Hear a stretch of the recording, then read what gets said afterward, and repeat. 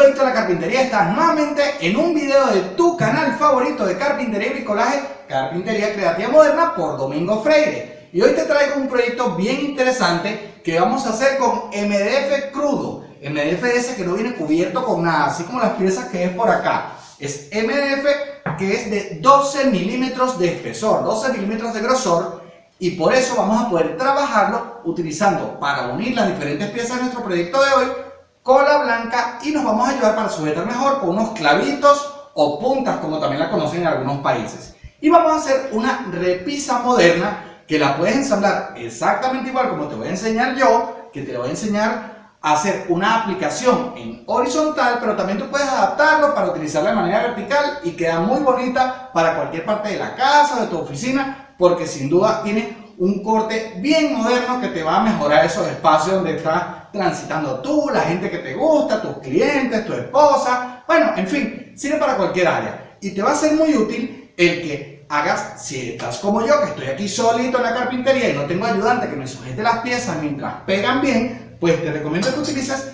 este tipo de prensas, que son prensas de marquetería o prensas a 90 grados, que ya vas a ver cómo me ayudan a hacer el proyecto de hoy, que te va a encantar.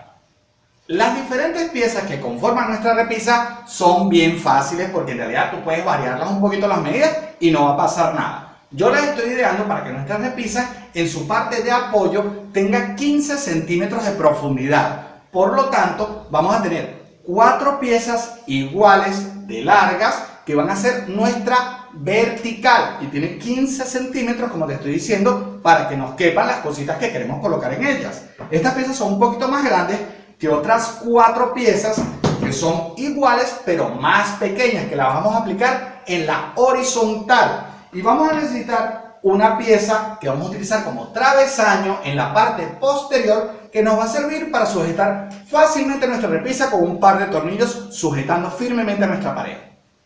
Siempre es bueno imaginarnos el proyecto antes de empezar a armar y para nuestra repisa de hoy vamos a utilizar dos cuadrados o dos rectángulos que van puestos de esta manera, vertical. Quiere decir que las cosas las apoyaríamos de esta manera. Y esto es muy importante saberlo porque con esto definimos cómo vamos a hacer la unión. Fíjate aquí que estoy haciendo que esta pieza, que es la que va a soportar el peso, la ensamblemos insertando desde este lado los clavitos. Además vamos a reforzar todas las uniones utilizando cola blanca y para inmovilizar antes de meter los clavitos o las puntas vamos a utilizar estas prensas a 90 grados. Sabiendo esto, podemos comenzar colocando cola blanca. Colocamos un poquito de cola blanca. La esparcimos un poco, si se rega un poquito no nos preocupamos, recordamos que esto luego lo vamos a cubrir todo con pintura y vamos a colocar nuestra pieza de esta manera. La colocamos acá, la colocamos lo mejor que podamos y luego aseguramos la posición con nuestra prensa 90 grados. Las movemos de esta manera, puedes ver que puedes irla cerrando y con esta parte vas a lograr el ángulo recto que te asegura que armes bien tu proyecto. La colocamos debidamente y procedemos a apretar ambas piezas. Esta sería la pieza horizontal y esta la pieza vertical. Colocamos, nos aseguramos que esté bien y apretamos. Podemos, una vez que esté bien apretado, voltear, porque ya está bien sujeto, volteamos confirmamos que esté bien colocada la pieza, si no la podemos mover, reposicionarla y cuando la coloquemos que esté al ras, apretamos.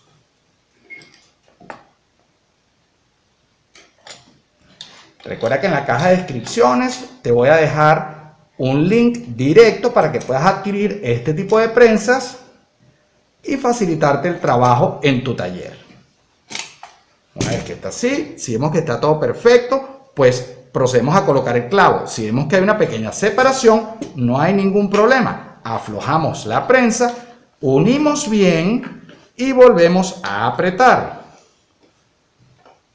Quitamos el excedente de cola blanca y tomamos un par de clavitos como estos que ves aquí, que son clavitos de cabeza perdida. Eso quiere decir que van a insertar muy bien en la unión y dejamos aproximadamente unos 4 centímetros desde la parte delante o atrás de nuestra repisa e insertamos el primer clavito. Podemos apoyarnos un poquito así y colocamos nuestro primer clavito.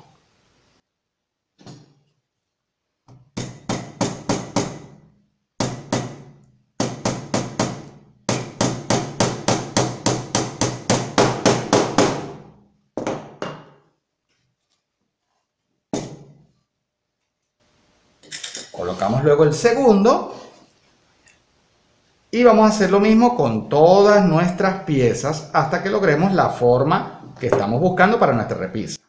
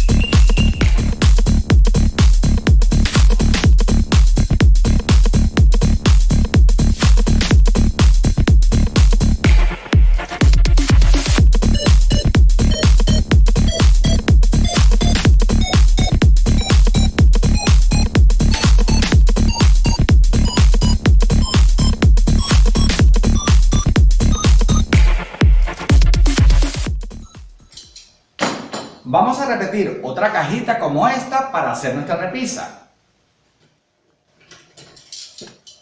Una vez que tengamos las dos cajas listas y ya unidas con la pega blanca y los clavitos, pues vamos a imaginarnos cómo va a ser nuestra repisa moderna. Van a ser dos cajas puestas de esta manera en nuestra pared y vamos a unir esta pieza por la parte de atrás de nuestras repisas, considerando que esté a la altura media, a la altura central y estando muy atentos de dejarla ambas cajas a ras con el borde para que quede tanto a ras de este lado como de este lado y nos quedaría de esta manera.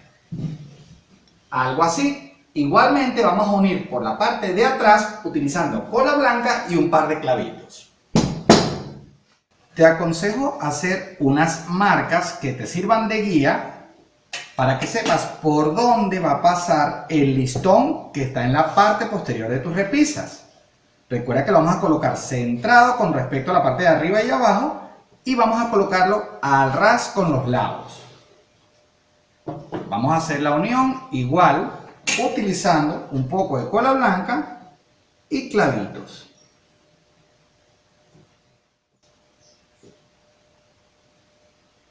Una vez hecho esto, en la primera nos olvidamos de esta y vamos a, con las marcas que hicimos, guiarnos para que nos quede derechita la colocación de la parte de atrás con respecto a nuestra primera caja.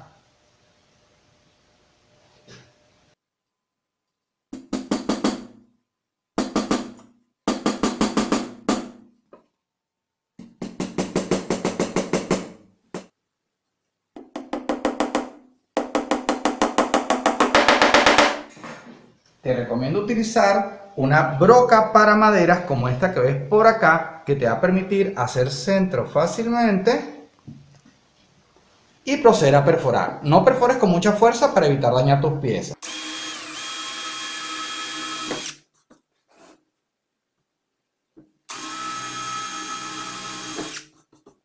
Al estar ya ensamblada nuestra repisa, vamos a proceder a aplicar sellador. Yo estoy utilizando sellador listo para usar y vamos a aplicar tres capas, lijando entre la aplicación de cada una de las capas. Lo más importante es que estemos muy pendientes de aplicar bastante sellador en los bordes de nuestra repisa, porque esta es la parte más importante a sellar en nuestra estructura de MDF. Una vez que apliques la primera capa de sellador, lo más importante es que sellemos bien estos bordes, que son los que tienen una textura en la que tenemos que concentrarnos para que quede mejor. Por lo tanto, entre cada mano vamos a lijar. Te aconsejo utilizar una lija del número 120 y después aplicar nuevamente sellador. Luego volverás a lijar y para la capa final de sellador no vas a lijar. Vamos a aplicar el sellador y luego procederemos a pintar.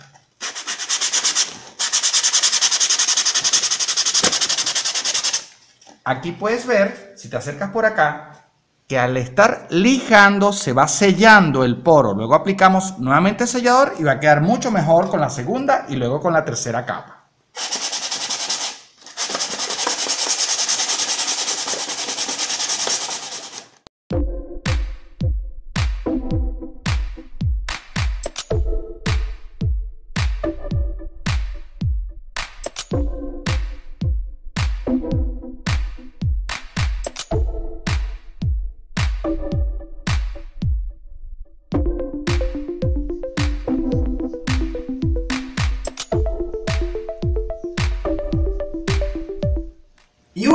Aplicamos nuestra tercera capa de sellador, estamos listos para aplicar la pintura de nuestra preferencia. Recuerda que después de la tercera capa no vamos a lijar, vamos a dejar secar bien. De hecho, recuerda que aquí en YouTube lo ves todo rapidito, pero el proceso de verdad de esto te va a tomar a lo mejor dos o tres días mientras dejas secar un día dejas secar bien el secador y luego al pintar vas a tener seguramente que dejar secar tu pintura al menos un día, 24 horas, para que puedas no solamente tocarla, sino que verdaderamente esté seca, no le queden huellas digitales y puedas instalarlo correctamente. Al final de este video te voy a dejar un par de sugerencias con videos en los que te enseño a pintar detenidamente de varias maneras. Yo voy a aplicar pintura en aerosol, pintura en spray, y recuerda que aquí el detalle importante es que al haber aplicado bien las tres capas de sellador, nos van a quedar correctamente sellados los bordes del MDF, que son lo crucial para lograr un buen acabado con este tipo de material.